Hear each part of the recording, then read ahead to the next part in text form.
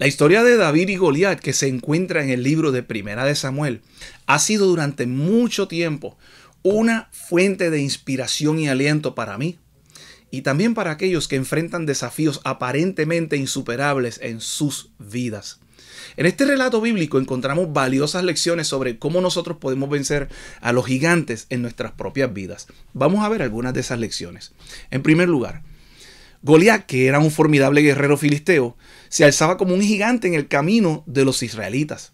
Su presencia intimidante y sus burlas arrogantes infundían miedo en los corazones del pueblo de Dios. Sin embargo, el joven David, un pastorcillo, se adelantó con una fe inquebrantable en el Señor. Se negó a ser paralizado por el miedo y la duda.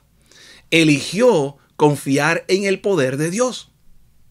Esa fe de David nos enseña que cuando nosotros enfrentemos gigantes en nuestras vidas, sean problemas financieros, cuestiones de salud, luchas personales, problemas familiares, debemos primero acudir a Dios. Como David, debemos recordar los momentos en que Dios nos ha librado en desafíos pasados.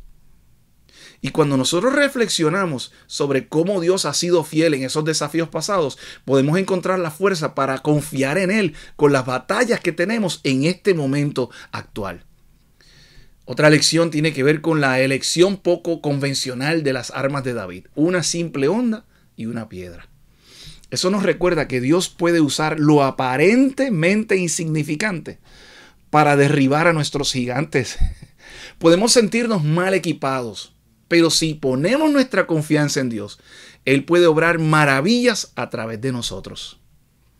Nuestras habilidades, talentos y recursos entregados en las manos de Dios se convierten en una poderosa herramienta en las manos de Dios. Cuando David se enfrentó a Goliat, hizo una declaración de la cual también aprendemos algo muy importante. Dijo, tú vienes a mí con espada y lanza y jabalina, pero yo vengo a ti en el nombre del Señor de los ejércitos. Esta declaración centrada en la fe de David nos enseña que nuestras batallas no son solo nuestras. Cuando confrontamos a nuestros gigantes en el nombre del Señor, tenemos acceso a su fuerza y sus recursos infinitos e ilimitados. En última instancia, la historia de David y Goliat nos recuerda que nuestra fe, cuando se deposita en Dios, puede mover montañas. Al finalizar esto, este devocional, debemos recordar que con su poder y su fidelidad podemos enfrentar los gigantes de nuestra vida en su nombre y podemos superar cualquier obstáculo que se interponga en nuestro camino.